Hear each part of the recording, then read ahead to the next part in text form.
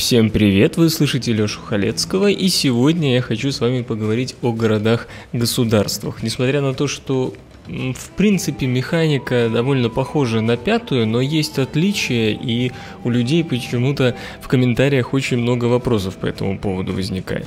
Поэтому давайте разберемся. А, ну, во-первых, опять же, мы продолжаем получать бонусы от городов-государств, но изменилась механика. Теперь все зависит от количества посланников или послов, которые находятся в этом городе-государстве. Вот это количество посланников и определяет, какие мы бонусы э, получаем. Но сначала вход капает какое-то количество очков влияния, в данном случае 9,1. Откуда это влияние берется, я чуть позже скажу. И при наборе 100 очков влияния вам дается от 1 до 3 посланников. Количество посланников зависит от того правительства, которое у вас сейчас установлено. Вот первые правительства, вот видите, в верхнем правом углу каждого правительства есть цифра посланников. Первые правительства автократия, античная республика и олигархия при наборе 100 очков влияния дадут вам одного посланника. Когда вы примете какую-то из э, правительств второго уровня, торговую республику, монархию или теократию, то при наборе 100 очков вам будут давать два посланника.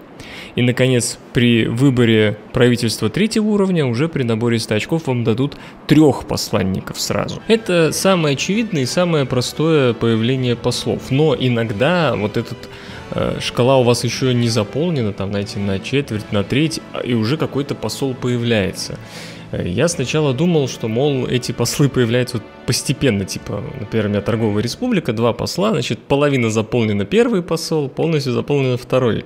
Нифига. Просто, опять же, э, Цива немножко такая странная игра, что все очень неочевидно, например, вот в технологическом дереве. Есть много э, тех и цивиков, ну, достаточно много, которые дают бесплатных послов и это, как всегда, почему-то иконками никак не обозначено. И, слушайте, даже я, даже я уже начинаю ошибаться. Э, есть много цивиков, которые дают бесплатных послов. При этом это никак иконками, опять же, нигде не обозначено. Просто, ну, я надеюсь, в скорые патчи появится. Ну почему вот, например, не поставить иконку э, в том же мистицизме, где почему вот в мистицизме не поставить иконку, которая показывает, что вам дают посла. Вот такую вот иконку, например, вот этого чувачка вы сюда добавить иконку. Не, нафиг надо. Вот только вот наводим и э, написано дает одного посла, видите? То есть вы открываете мистицизм, и вам бесплатно дается посол. То же самое касается военной подготовки. Видите, один посол. Дальше сейчас мы пройдемся по, по всем. Следующий посол дается в теологии. Вот один посол. Дальше морская традиция. Тоже один посол. Давайте заметьте, что это э, тупиковая ветвь. И вполне можно зайти ради посла, например, если вы морская держава, то имеет смысл взять. Или вот еще в наемниках один посол. В возрождении нету послов почему-то. Зато в промышленной эре внезапно опера и балет дает два посла. Уже, кстати, после... Вот в этой эре уже будет два посла и дальше еще три. То есть опера и балет сразу два бесплатных посла дает. Колониализм два бесплатных посла естественная история и, и, и выжженная земля. Многие идут вот по этим центральным веткам, да, ну, чтобы быстрее было развитие, но они как раз не дают никаких послов. И, наконец, еще по одной технологии в, в, новой, в новое время и в эпохе атома. В новом времени это охрана природы, видите, уже трех послов дает. И в, э, в атомной эре культурное наследие тоже три посла. Кроме того, послов дают некоторые великие люди, но я на это не буду останавливаться, потому что это и так ясно из их описания, там все это написано, а также некоторое взаимодействие с городами-государствами, но об этом позже. Сейчас давайте вот узнаем, откуда берутся вот эти очки влияния. Ну, тут тоже все просто, на самом деле основная масса берется опять же из э, правительств. В начале, когда у вас обычный вождизм, э, вождество у нас тут переведено, но мне вождизм больше нравится почему-то, э, у вас будет одно очко влияния за ход.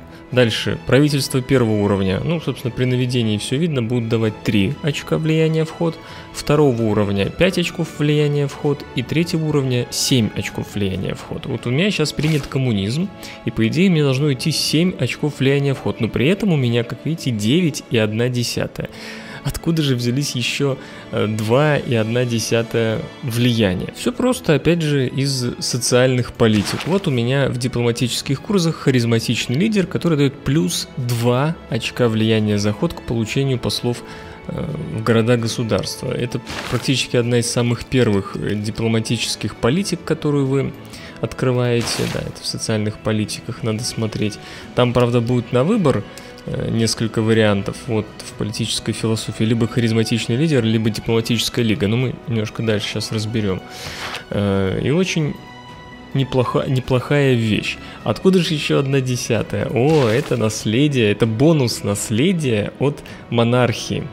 Вот, бонусные очки влияния, видите, 1%. Вот этот 1%, хотя я не знаю, по идее 1% это же не одна десятая, но, видимо, идет округление к высшему числу, и идет это 1 десятая. То есть э, монархия дает 20% бонусных очков влияния. То есть, например, у вас вы приняли монархию 5 очков влияния, плюс у вас еще 7 очков, э, извините, 2 очка влияния от социальной политики, харизматичный лидер, то есть итого, итого 7 очков влияния, и плюс 20%, то есть это еще 1,4, то есть у вас будет 8,4 очков влияния в монархии.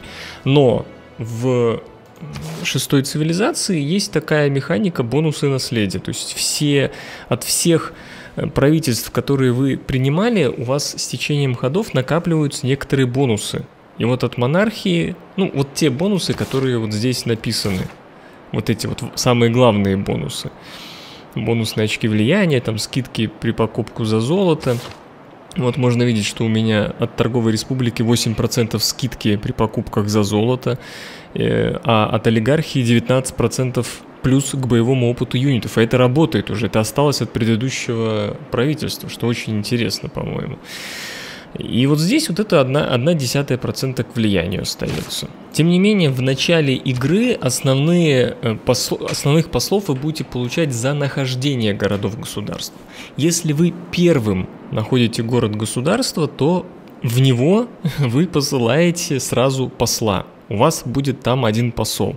Так как э, в пятой циве, если вы первым находили город-государство, получали 30 золота, здесь посолы. Это очень крутой бонус, который, я считаю, надо все-таки менять, как-то исправлять. если, например, для нахождения э, религиозных, э, военных городов-государств или даже торговых это еще нормально, то при нахождении в начале игры научного города и культурного вы получаете очень неплохой бонус к развитию.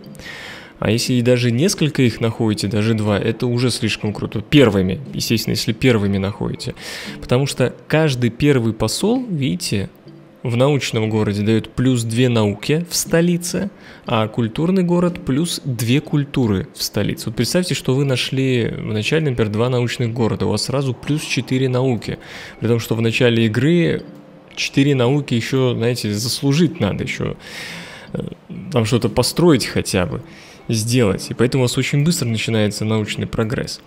Э, но, похоже, с патчами немножко это дело исправили, потому что вот играя даже на оригинальной Циве, я уже вижу, что здесь городов-государств, ну я много, много уже партий сыграл, вижу, что здесь и научных, и культурных государств обычно меньше, чем э, других городов-государств. И они располагаются как-то не рядом. Поэтому я думаю, что разработчики это все исправили. В данном случае, видите, где у нас Вильнюс находится и где у нас находится Антананариву. Совершенно в разных местах.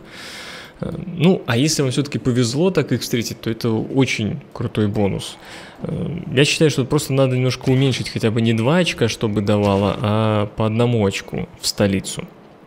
Э, все же остальные государства, ну, более-менее.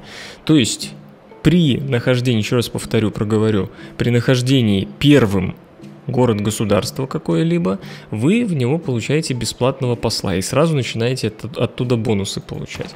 Отсюда еще и работает вот эта э, социальная политика под названием дипломатическая лига первый посол, отправленный вами в город-государство, дает двойной эффект. Как вы понимаете, э, в начале игры э, это, в принципе, очень неплохо если вы находите первым город-государство. Если же э, уже его кто-то нашел, то мне кажется, все-таки лучше харизматичный лидер. Возможно, кто-нибудь там по математике посчитает, но выглядит так, что э, харизматичный лидер просто быстрее, быстрее будут набираться очки влияния для получения послов, чтобы их отправлять. Э, дело в том, что вот видите, при харизматичном лидере вы получите 2 очка влияния. То есть, грубо говоря, не там не за 30 ходов наберете на посла, а за 10 ходов. Ну, потому что здесь вот политическая философия, вы уже примете какую-то из этих э, правительств, то есть у вас будет не 3 очка вход, а 5 очков, то есть за 20 ходов вы получите двух посланников, не, одного, одного посланника. Здесь же у вас медленнее будут набираться, но при этом вы будете посылать двух послов. Э, надо все-таки посмотреть, что из этого лучше. Тут я не готов рекомендовать, но обратите внимание на обе этих социальных политики. Очень важно, конечно, найти город-государство первым, чтобы побольше получить с него бонусов, но не всегда это получается, потому что ты не знаешь, где что находится. Ну а если вы в городе не знаете, где что находится, то вам поможет 2GIS мой партнер и помощник в том, чтобы рассказывать вам о цивилизации. Кстати, э, в 2GIS можно искать не только по адресу, но и по номеру телефона. Если у вас ну, есть номер телефона организации, вводите в 2GIS и найдете, где она. Э, этот каталог и справочник организации, а также карты многих-многих городов вы можете совершенно бесплатно скачать на сайте 2gis.ru под вашу платформу 2GIS если быть точным. Теперь по поводу убирания э, послов из городов и их потери. Послав, извините за тавтологию, посла в город-государство, вы его вернуть обратно уже не сможете никак. Все, это навсегда. При этом, если вы объявите городу-государству войну, то вы всех этих послов в нем потеряете. Даже если потом вы заключите с ним мир они не появятся обратно, не вернутся. Поэтому имеет смысл, если вы уже объявляете войну государству, городу-государству, то его захватывать. И в этом смысле есть э, небольшая проблема с защитными пактами. Я, кстати, не считаю, что это баг, просто надо об этом знать и понимать. Например, вот я играю за викингов и, предположим, заключил защитный пакт с Индией. То есть, если кто-то нападает на Индию, то я сразу автоматически этому нападающему объявляю войну. Например, на индуса нападает Франция, который является, ну, опять же, предположим, сюзереном Хатусы. Так вот, француз нападает на индуса, и я объявляю войну Франции, и считается, что я автоматически объявляю войну и Хатусе. И все, я тут теряю все свои, э, всех своих посланников. Если бы француз просто мне объявил войну, то да, Хатуса бы мне тоже объявила войну, но посланники бы здесь остались. И заключив мир с, с Хатусой или с французом, я бы стал опять получать отсюда все бонусы, которые мне дают города-государства. Так что осторожней с защитными пактами. При этом э, тут еще хорошо сделано то, что города-государства, видите, вот, например, Амстердам объявил войну, но через некоторое количество ходов на данной скорости это через 10, я смогу с ним заключить мир абсолютно спокойно, даже несмотря на то, что я буду продолжать воевать с его сюзереном. То есть города-государства воюют только определенное количество ходов. Это тоже надо понимать. Более того, э, вот Амстердам со мной воюет, нет тут больше никаких городов-государств, воюющих со мной. Амстердам со мной воюет, но в процессе войны я все равно могу туда посылать своих послов. И если у меня посланников станет больше или такое же количество, как у Сюзерена, то он со мной заключит мир. То есть здесь нету вот этих проблем из пятой цивы, когда люди на последнем ходу перекупали города-государства специально, чтобы объявить войну тебе, и чтобы ты не мог эти города-государства перекупить. Нет, тут вы можете совершенно спокойно дальше вот э, воевать за город-государство количеством посланников. Главное, не забывайте вот про эту проблему с защитным пактом, чтобы вас вообще этих, послан... этих посланников не потеряли. Значит, посланники теряются только если вы объявляете войну городу-государству. Э, даже я вам еще поясню, чтобы было более понятно. Э, например, француз сюзерен Хатусы, и я объявляю войну французу. В этом случае я не потеряю я не потеряю э, этих посланников, потому что я не объявил войну конкретно этому городу-государству. А вот когда через защитный пакт это происходит, то считается, что вы объявляете войну именно городу-государству. Возможно, все-таки, возможно, вот сейчас я так поразмыслил, возможно, это и баг все-таки. Возможно, это будет менять, но мне надо вам об этом рассказать, чтобы вы имели в виду.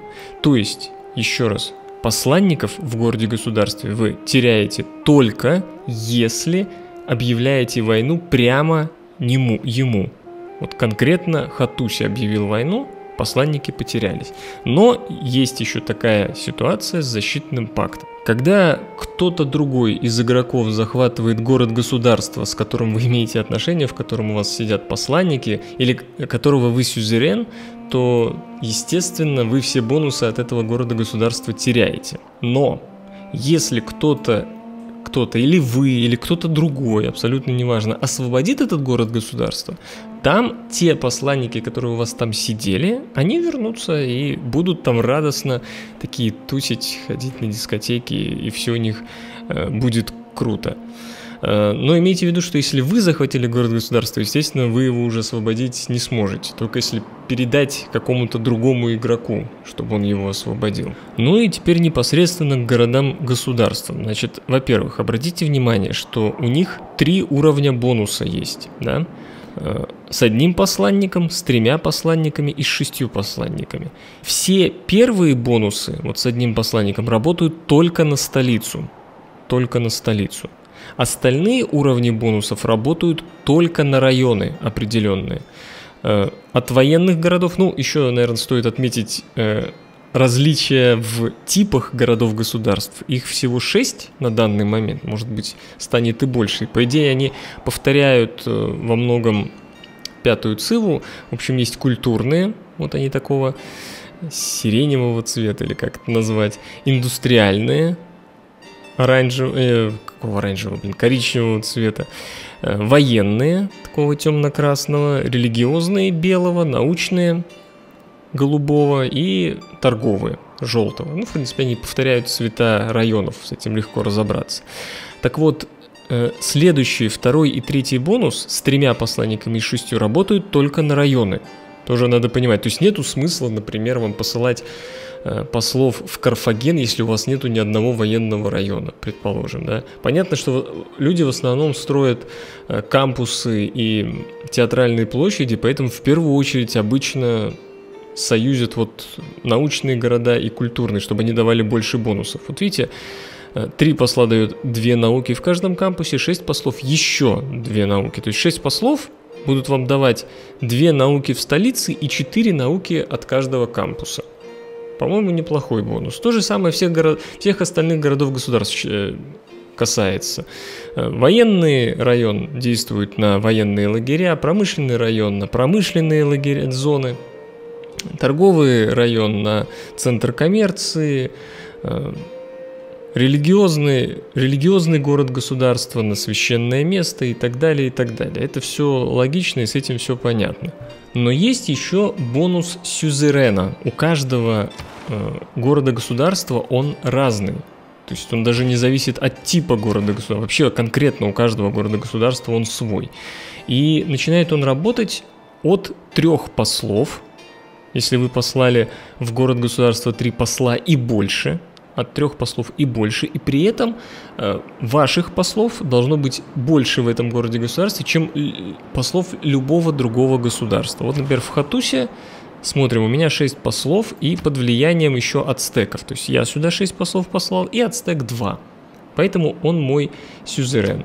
С другой стороны, ну, какой-нибудь выберем сюзерен другого ну вот, например, в Лавенту я послал три посла, но при этом тут я и не стал его сюзереном. Значит, какая-то другая нация тоже сюда три посла отправила. Да, Франция и Скифия. Видите, поэтому никто не является сюзереном, потому что сюзереном может быть только один игрок, только один. И вот в данном случае у Хатусы бонус дает одну единицу каждого из стратегических ресурсов, которые вами открыты, но вам не принадлежат. Это очень крутой бонус, кстати. Поэтому частенько в сетевых играх, например, за, за Хатусу очень-очень-очень сильно борются.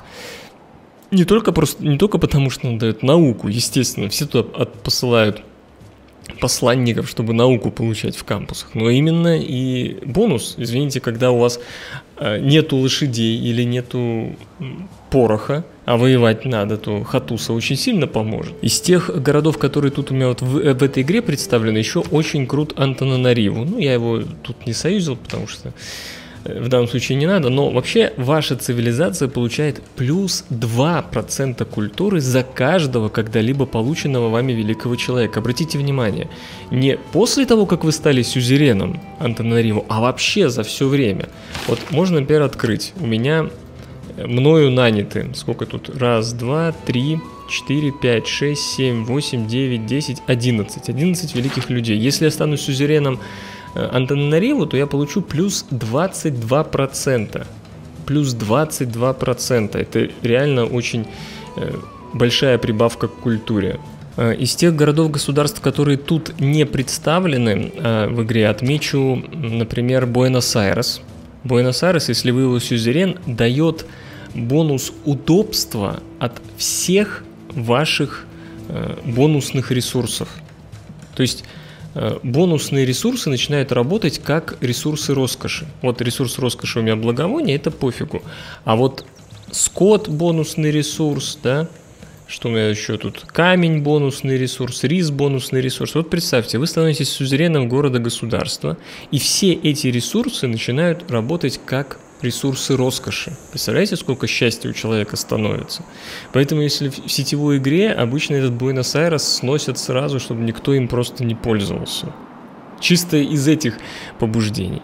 Кроме того, неплох Гонконг, если мы про промышленные говорим, потому что дает плюс 20% к э, созданию проектов.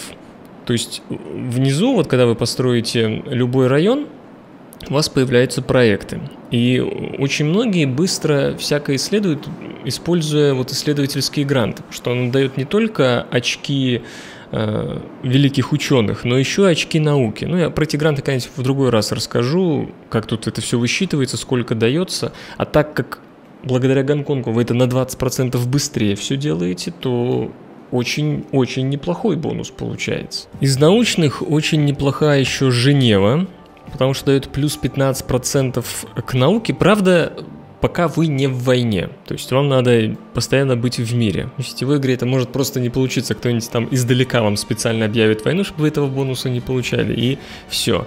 Также вот в недавнем небольшом DLC добавили Поленки. Вот это крутой город, дает плюс 15% к росту города, к росту, э, если в городе есть кампус. По-моему, очень неплохой бонус. Э, ну, а вообще у меня на сайте есть таблицы всех этих городов-государств, отдельно есть страницы про города-государства. Видимо, сейчас в верхнем правом углу появляется ссылка, так что зайдите там, посмотрите вот эти все бонусы. Э, если меня спросят, э, что лучше отправлять посланников в города-государства или их захватывать, то я вам отвечу, смотрите по ситуации. Но на самом деле, в принципе, это неплохая вещь, захват городов-государств. Например, при игре с компьютером э, вот другие нации на захват городов-государств э, злятся намного-намного меньше, чем если вы захватываете даже один город другой нации. Захватив один город другой нации, вы сразу начинаете получать там осуждения и прочее. А города-государства нормально уходят, даже, блин, если там другие посланники сидят.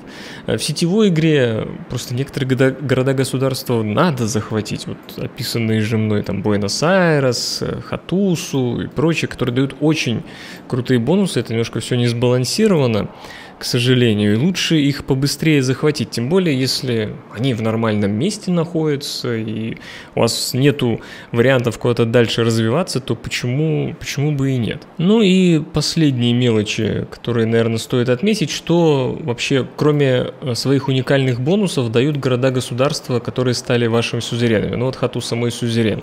Во-первых, можно ходить в ее границах, спокойно пересекать. Во-вторых, видимость по радиусу, по радиусу своих границ. Я тут вижу, что происходит. Далее дает свои ресурсы, то есть стратегические ресурсы и э, ресурсы роскоши, если они у нее есть. В данном случае у Хатусы, по-моему, их нет. Это же рыба, да?